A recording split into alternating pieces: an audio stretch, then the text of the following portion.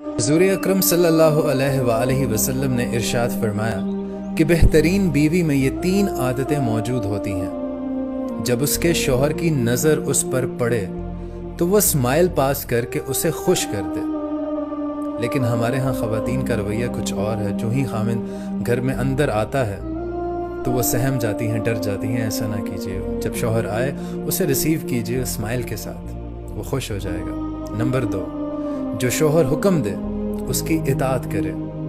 Number तीन, जब शोहर मौजूद ना हो तो उसकी अमानत की हिफाजत करे। अमानत से मुराद, उसका माल, उसका पैसा। अगर दोनों में कोई राज है तो वो राज भी आपके पास शोहर के अमानत है। उनमें भी ख़यानत ना करे, शोहर की बुराई ना करे। ये सारी चीज़ें अमानत में आती हैं, इनमें कभी ख़यानत ना करें। अगर आप में ये तीन आदतें मौजूद हैं तो आप बेहतरीन बीवी हैं। हजूर अक्रम